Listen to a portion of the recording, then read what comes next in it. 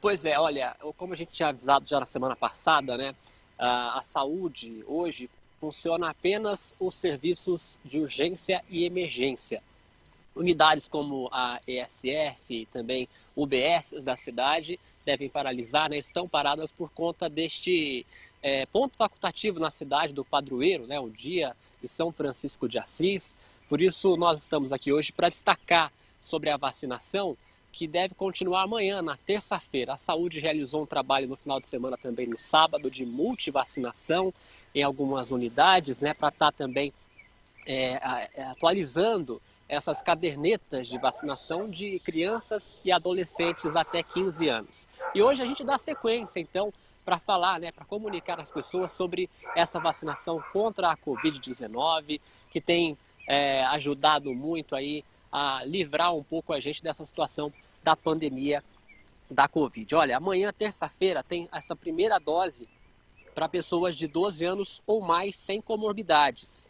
E também segunda dose para pessoas que tomaram AstraZeneca até dia 13 de julho.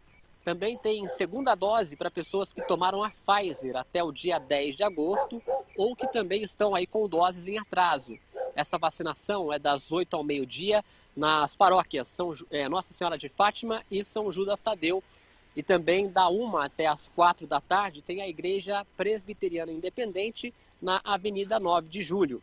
Amanhã também é dia de terceira dose para idosos aí de 70 anos ou mais que receberam a segunda dose há pelo menos seis meses.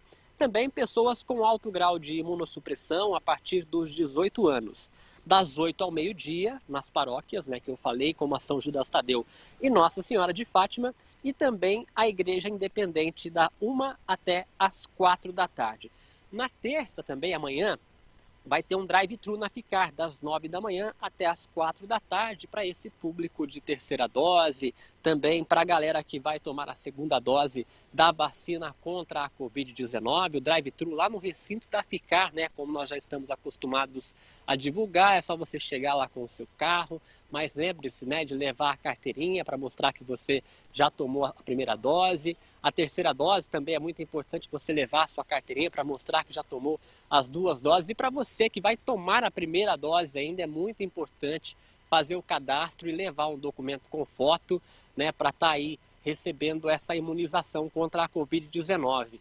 Vale ressaltar também que a expectativa da saúde, conforme divulgado para a gente, Jerônimo, é essa semana ainda vacinar com a terceira dose profissionais de saúde, tanto da rede particular quanto da rede privada.